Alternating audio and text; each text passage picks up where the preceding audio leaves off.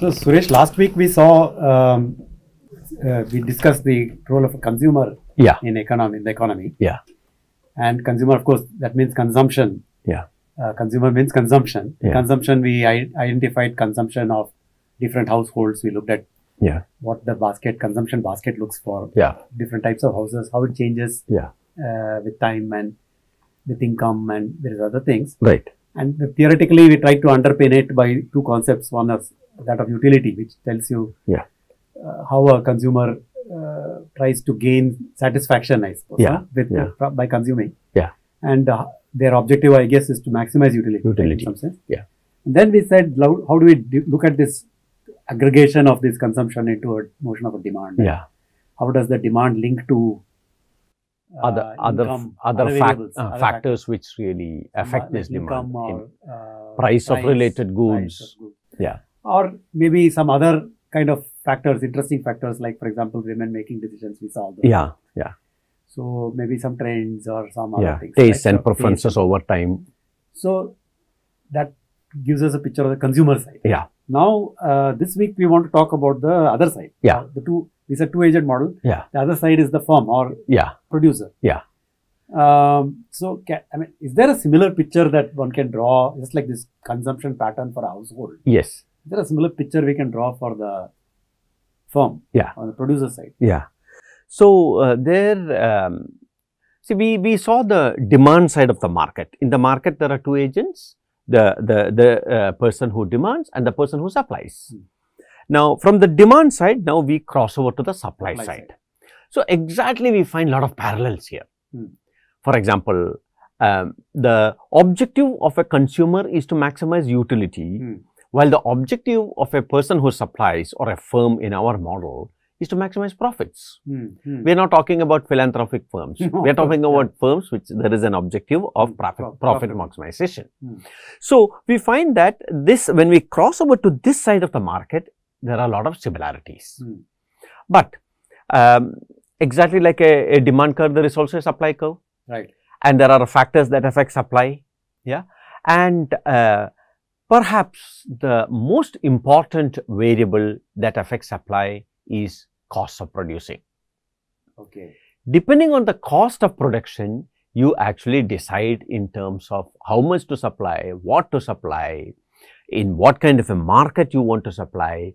Uh, if we recollect our earlier discussions, we were talking about, you know, certain segments in the market where you want to pitch your product, you know, bottom of the pyramid or all these kind of decisions in terms of, you know, supply or viewing from the supply side of the market then is intimately, intimately related to the concept of cost. Okay. So, co- understanding cost then is a prerequisite in terms of understanding supply decisions. So the the consumption basket the, when we broke down the consumers purchasing in terms of the different types of things the person consumes yeah, based on their income. Yes. they have a budget. yes, Here the equivalent is that we have to The- see based on their The- equivalent of budget. Yeah, something yeah. The firm has a total set of resources, Huh. what we broadly cap- call as the capital availability. Okay. and this capital availability will have to be uh, distributed according to the price as well as according to the requirement of the firm to various other components right. that are used in terms of production and Okay. each one of that will have a cost. Huh, huh, huh. So, exactly like what we saw in a consumption basket, there is a, a bouquet of costs, Costs. now.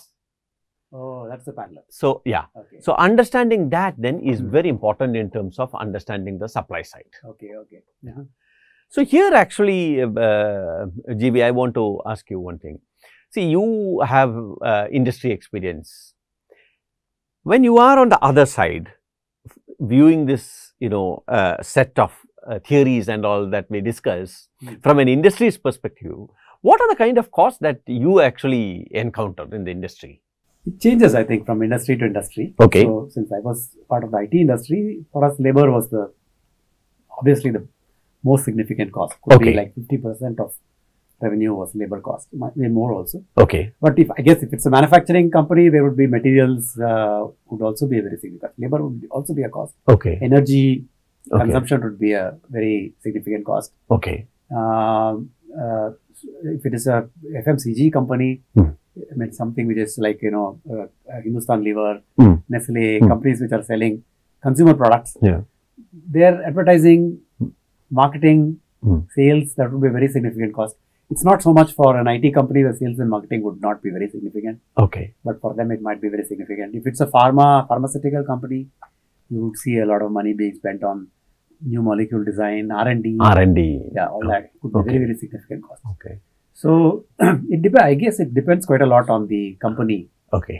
um, what what kind of company it is, the cost. But broadly, there would be these heads. I think materials, Yeah. labor, Yeah.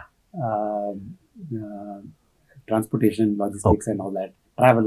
Okay. In the case of IT, we have travel, quite a lot Okay. of travel Okay. uh, for projects, Okay. and uh, of course, capital costs. I mean, if you have if it's a very um, uh, if the manufacturing la- you need large machines and so on, you have to buy those machines. Okay.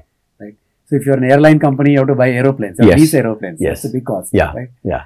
Um, so it depends on the industry. Okay. think. So I think. I think that's the important point for us, you know, when we say us for economists to look Mm. at, because the uh, types of costs actually vary from industry to industry, just like in consumption, right? just like in consumption. Consumption changes from person to person. Person to person.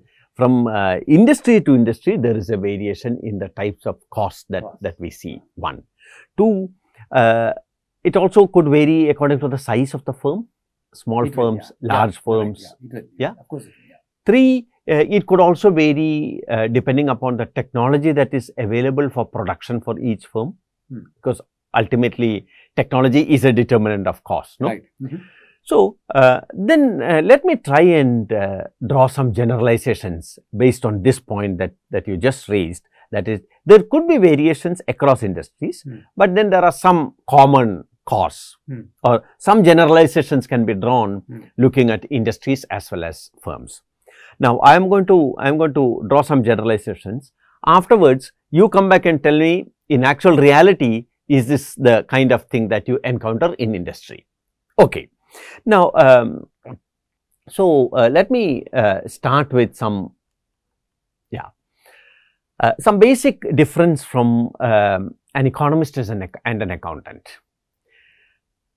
An economist sees this whole notion of costs from a very broader angle. That is, um, there is a concept of opportunity cost in economics. Okay. Wh- What do we mean by opportunity cost? We'll just come to that in a moment. But um, resources have multiple uses. So, if you are using resources for one particular activity, then you are foregoing some other activity Hmm. for which it could have been utilized. Hmm, So, there is a cost of foregoing something. hmm. That is the opportunity cost that we talk about. So, uh, economists always view uh, everything in terms of opportunity cost. There is a trade-off. Whereas, for an accountant, accountant says that, well, um, it's not directly visible to us. Yeah, where is it getting reported? Right. At the end of the day, we have to see it. Let's see the voucher.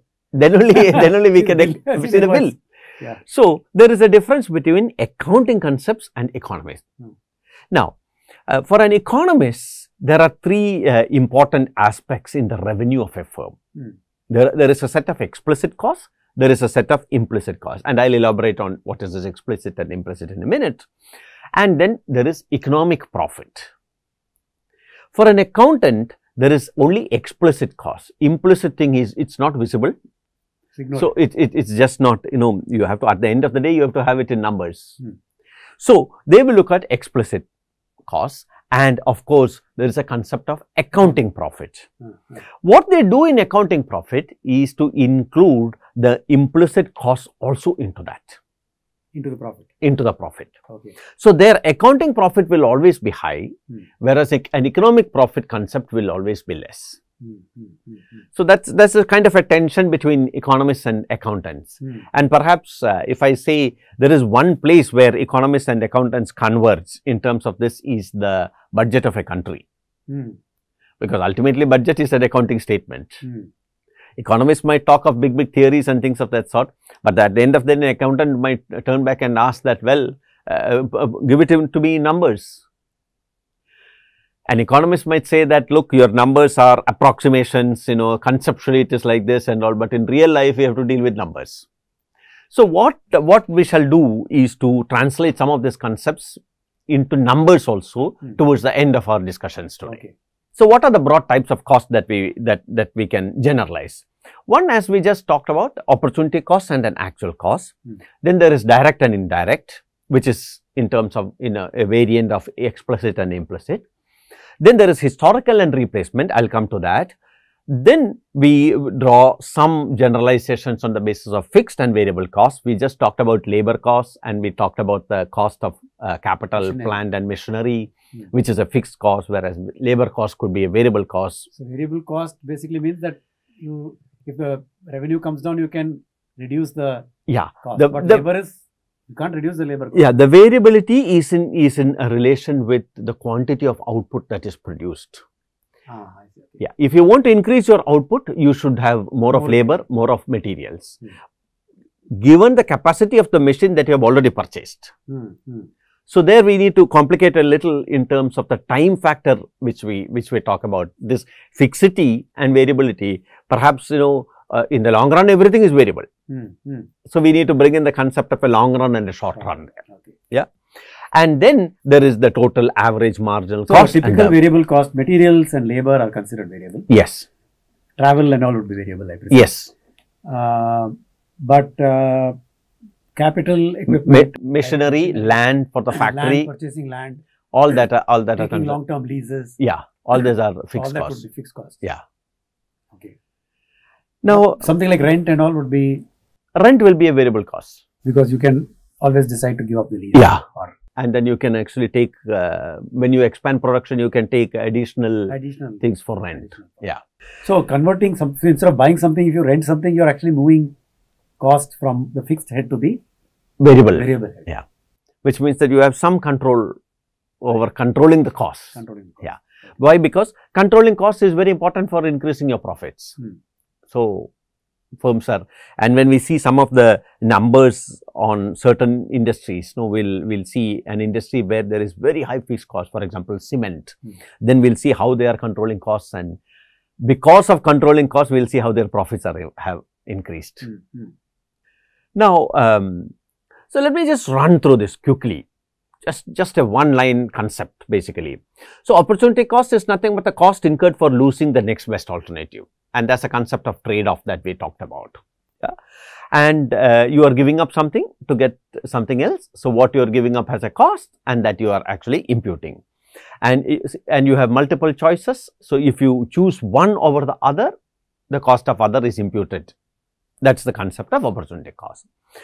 Actual cost is nothing but actual amount paid as opposed to estimated or standard cost. Hmm. So, you, you have an estimated cost and then actually you pay out might be, might be slightly different from this cost. So, uh, when an uh, accountant looks at this whole costing, they look at actual costs. Hmm. They don't look at estimated costs. Then implicit and explicit costs, we talked about this, but it refers to the money that is basically expended to uh, buy or hire resources from outside the organization. So, resources can be from within the organization and resources can be from outside the organization. So, anything that is from out. Is that uh? No. um, that is a that's a, another production decision. Okay.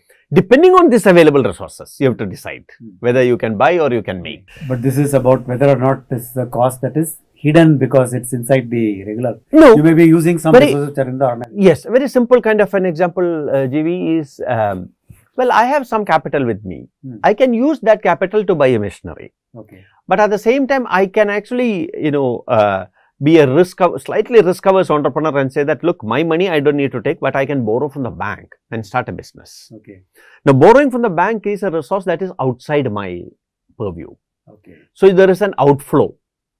When I take my own money, there is no outflow of, Okay. of, of interest payments More or anything. Cash, Yeah, cash outflows. it's cash outflows. Okay. And that is why it is called explicit. Okay. Whereas implicit cost is a cost of self-owned resources of organization that are used in, in production. Right. And uh, in the in the small firms the con- cash outflows because you can't see it from outside. Yeah. From outside firm, you can't see this. and in the context of small firms in developing economies, such an implicit cost is the family labor. Right. Yeah? In a family run enterprise, Correct. the entire family comes Even and in startups, the entrepreneur basically does a lot of work and doesn't. yeah, all that will paid for it. all that all that will come as As the implicit implicit cost. cost. Yeah. Okay. Now, uh, direct and indirect uh, is basically direct costs are those costs that have accountable to very specific cost object. Hmm. That is, you know, wages, salaries, very specific head of accounting. Indirect could be in terms of, you know, um, which are not directly accountable, yeah, but it is related to production. For example, uh, maintenance and uh, you know insurance certain certain insurance right, right, coverage right. all that are not going to the production process directly Hmm. but is a cost So That we what are- is this? The pe- people say cost of goods sold, right? Cost of goods. Hmm. So direct cost will be cost of goods and indirect cost will not be cost of goods. no no That way. Indirect costs would be a is a yeah is is an outflow Hmm. but it is not contributing to the production process directly Yeah. That is what it means. Yeah. Okay. both are part of cost of both of both of are part of cost of yeah for example i have produced something Hmm. now when i am transporting in a truck to my market Hmm. i might have an insurance for that product Ah, ah, ah, but that's also a cost for the firm Correct, correct, correct. But it is not a- It's not fuel. And it's not fuel or anything. Yeah. Uh, it is also not the cost of transporting. This insurance which I am having for my product is over and above the production cost. Yeah, But for a firm, it is an outflow. correct, correct, correct. So, from an enterprise or a firm's point of view, it is a cost. Now, you can choose to avoid that and send the material without insurance, Hmm. but that's a risk that one takes kind of a thing. So, all those kind of things come under this indirect cost. Then there are two important concepts which we need to keep in mind when we talk about production, and that is uh, historical cost and replacement cost. Historical cost actually refers to the actual cost when you are purchasing an asset. Hmm. That is, I am starting this firm uh, in 2021 and I am, I am purchasing land for this factory. What I am paying out in 2021 is the cost that, that is historical cost. Why do we say historical? Because five years later, when I take some decision of, you know, expanding my mm, operations or moving from one location to another location and all, in my balance sheet, this is what is accounted. In 2021, so and so purchased land for 1 crore or whatever it is. So, from that point of view, it is called historical. But replacement cost is the price uh, that is required for replacing an, an asset at the current market price. Ah, That is, ah. 5 years later, value may be more or less. we don't maybe more or less. Yeah, yeah. So, so, so that why, why is this important? This is important because if you are planning little ahead in terms of your production process, we always need to account for replacement costs. Right. Because one, one simple aspect of production is that every machinery will have a wear and tear. Hmm. And every machinery, like, you know, all its machinery at the end of the day is a living kind, kind of a, of a creature. And uh, it might die down. That is, the machine might just fall sick and then it will stop producing. So, you'll have to replace that machine. Hmm. When you go out to replace that machine, you have to pay the market price prevailing in At that that year Hmm. to buy a new machinery. Hmm. So, that is the kind of, of a concept called replacement cost that we use. So use. if you use the historical cost to calculate your unit cost, Yeah. profit, uh, prof- the profitability, Yeah, then suddenly when you do the replacement of the machine, you will no longer be profitable. yeah. So, right? Because yes. the price has gone up. yes. So, that is why firms bring in this whole Idea of notion replacement cost. of replacement cost and uh, they will uh, set aside an element of depreciation every year Hmm. so that at the end of the life of suppose the life of a machine is 15 years Hmm. at the end of the 15th year there is enough resources available to buy a new machine Ah, there's a reserve, depreciation reserve. reserve Yeah. so you are putting into the kitty right from Getting, saving some money year one for 1 replacement. Right for one. replacement yeah Okay. so historical in historical values i would have bought a machinery for 5 crores Hmm. but after 15 years it would have been 20 crores or whatever it is Hmm. so you you calculate the inflation factor Hmm. and then you have a projected value and then you set aside little money right from the year 1 so that at the end of this 15th or 20th year you have enough resources to buy a new machine so that's where this whole historical and replacement cost analysis becomes very important now um, uh, then we come to a little theoretical concepts of fixed and variable cost, which is which is all discussed in earlier concepts as well, but we are trying to put it together into a, a big heading kind of a thing. Fixed cost remains unchanged irrespective of the output level. That is, when I am uh, purchasing a machinery, there is a capacity for the machinery. Hmm. My my my uh, my uh, enterprise is, for example, a coffee shop. Hmm. So I bought this coffee vending machine. This coffee vending machine has a capacity in an hour. It can produce so many coffees. Coffees. Hmm. Now, uh, then it is up to me, depending on the demand, whether I should produce. So, there's, for example, in an hour, let us assume that this machine can can generate uh, 100 cups of coffee. Hmm. Depending on the demand, I can stop at 20 Hmm. or I can go to 80, Hmm. 90. Hmm. But if the demand all of a sudden increases to 140 or 120, sorry, my machine cannot actually take Serve that. it. So, I will have to Buy another machine. another machine or I will have to buy from somewhere else Yeah. coffees and then distribute to my clients. Mm. All these make or buy decisions then become very important. Mm. So, fixed cost is the cost that is incurred irrespective of the out, output level or sales revenue.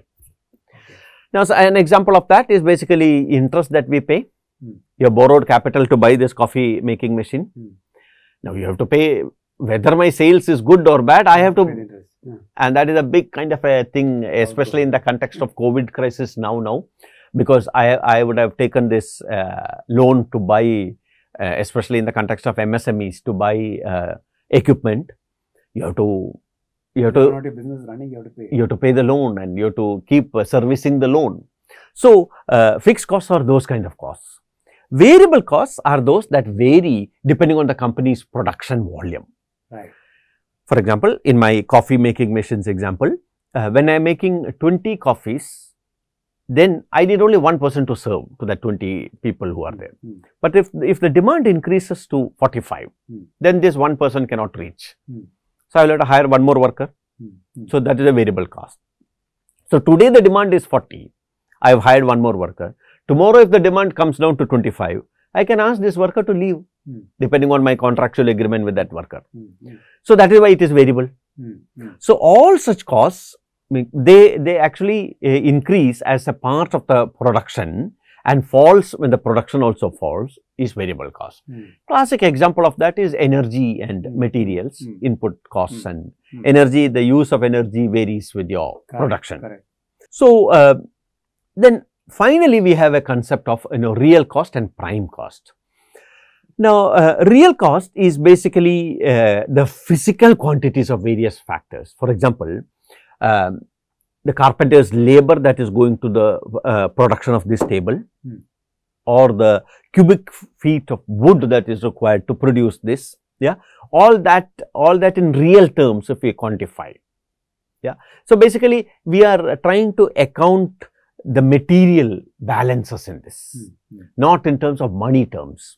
Yeah, this is not a very uh, very commonly used kind of a, of a concept, Hmm. but in terms of earlier uh, planned economic system, Hmm. we we wanted this because in a planned economy everything was planned. Hmm. How much of cars should be produced is And The price will be fixed by the Everything is is by the by the planner. planner. So then you need to have an idea of each of these Items. how many items, nails, how many nails you need to produce in an economy, etc. Correct. Correct. So that is why this is this is very very useful at that point.